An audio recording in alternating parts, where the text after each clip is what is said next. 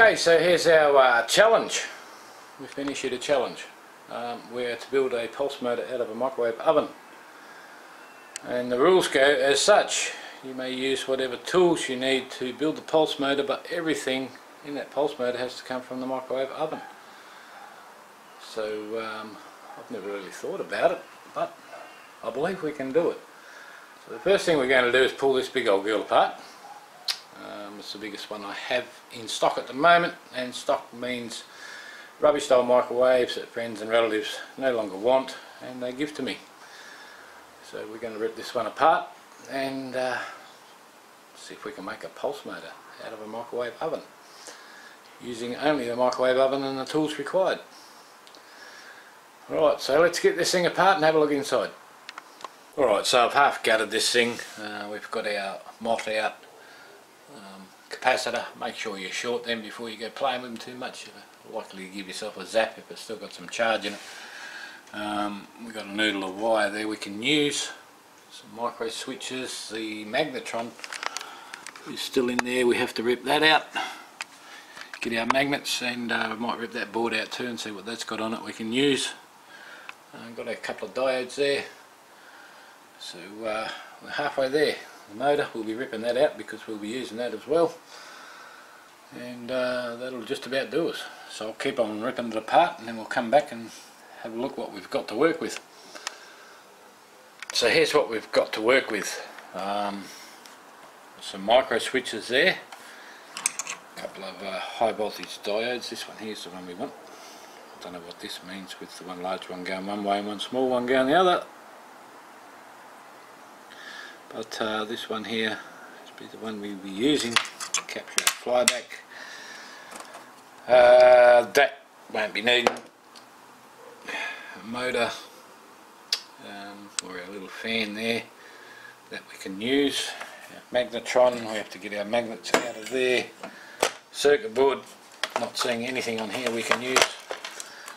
Um, not in this project anyway.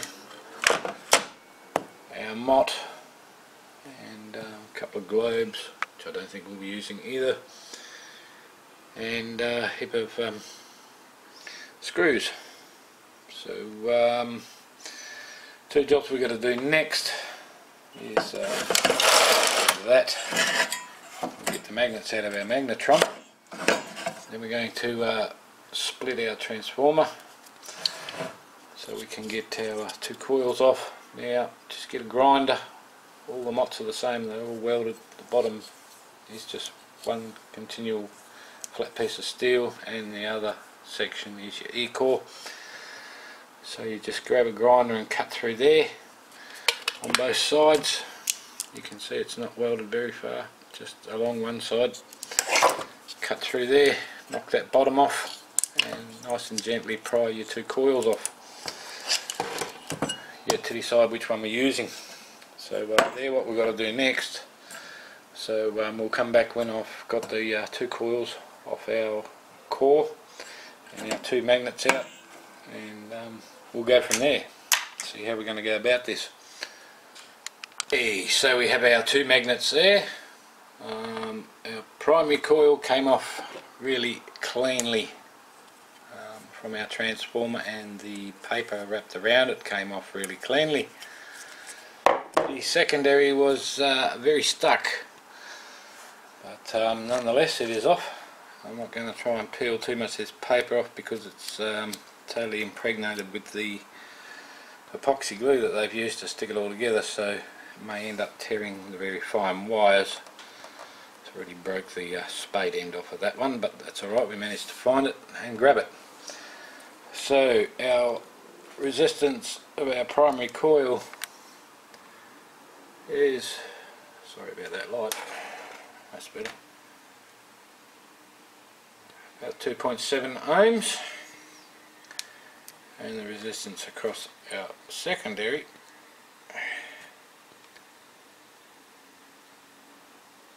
Eighty-six point four ohms.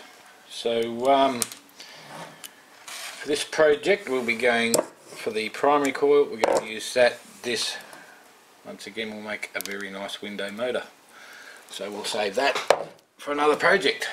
Alright, so um, I guess we have to make some sort of frame and a rotor and um, I'm guessing I'm allowed to use some glue to stick the magnets on could that be classed as part of your tools um, alright so we'll go and make some sort of frame out of the microwave oven shell itself and um, see what we can come up with for um, in regards to a rotor. Uh, so I'll be back once we've done that. Okay so here's where I'm at at the moment. Uh, made up a little box out of the uh, lid around the microwave oven. And um, we trimmed and filed and stuck this uh, micro switch on with a little lever here. Um, on with some double-sided tape and I've cut two out of the four fan blades off so these two big ones come around and uh, turn the switch on. It's going to be awfully noisy. And not sure how much uh, current that switch is going to be able to handle but we'll find out. Uh, so the plan is now we've got to build cut some sort of rotor out and um, carry it for our coil. Glue our two magnets on um, hook up the diode and um, we should be somewhere near finished. And we'll see what happens. So um, I'll keep on building see where we end up. But uh, didn't know what to use for a flywheel. Um, steel was no good it's too floppy the uh, steel casing and probably not what we want with magnets so we've just used the uh, big glass dish that was in the uh, microwave itself. An awfully large heavy flywheel and uh, not something we would want going too fast I don't think. But anyway see what happens. Our magnets stuck on with double-sided tape. Our flywheel's stuck on with double-sided tape.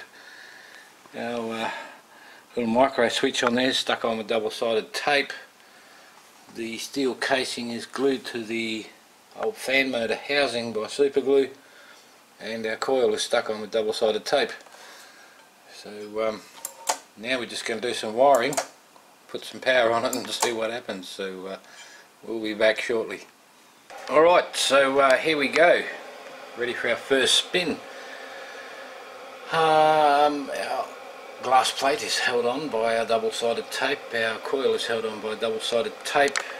Our reed switch is held on by double-sided tape and the frames are glued to the steel housing of the fan motor with super glue. And our magnets are held on by double-sided tape. So our first run is going to be at 6 volts. Um, our little LED is collecting inductive kickback by that diode there which is also from the microwave. Everything is from the microwave except for the double-sided tape and super glue that's all we used. So uh, we'll give her its first spin up.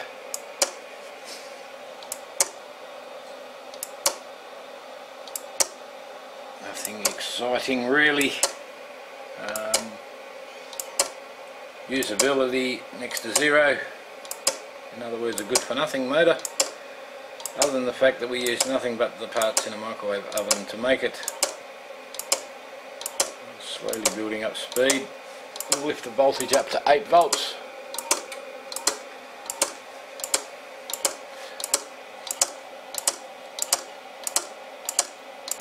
You can see the LEDs flash a little bit just as the switch is coming on. That'll be due, due to the arcing. Will not be liking that current that is flowing through there it's a tiny little micro switch.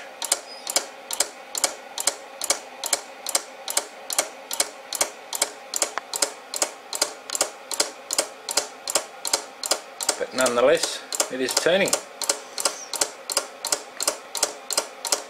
Not sure at what speed those magnets will fly off, but um, I'm hoping it doesn't fly off and hit me.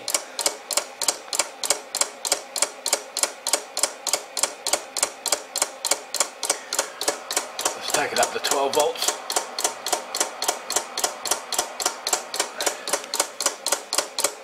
Get some bright flashes now.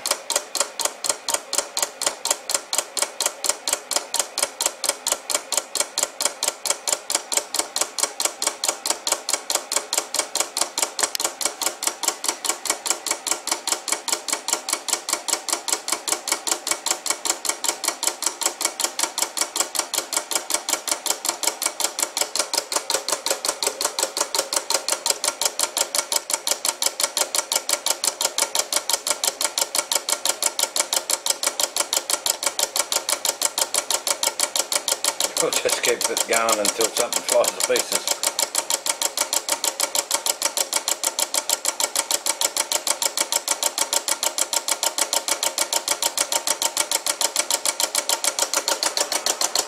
Fourteen volts, okay, that sounds good.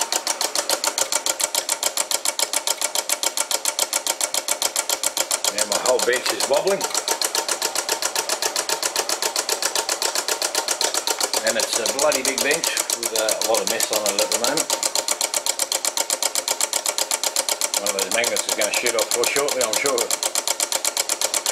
And I'm going to stand back a little bit.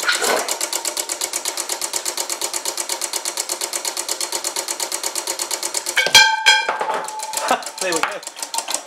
That's it, show's over.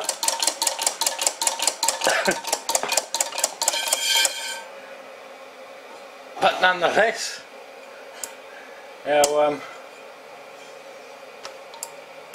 all microwave pulse motor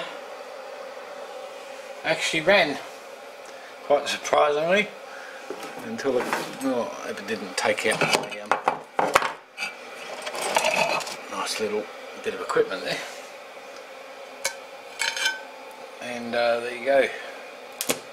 One pulse motor from a microwave stuck together with double-sided tape and super glue that's all we used didn't even use a soldering iron uh, a few hand tools tin snips screwdrivers and uh, that's it.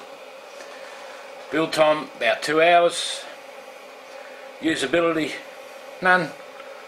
Practicability none. Um, we just did it because it was a challenge. Alright thanks for watching and uh, we'll see you in my next crazy project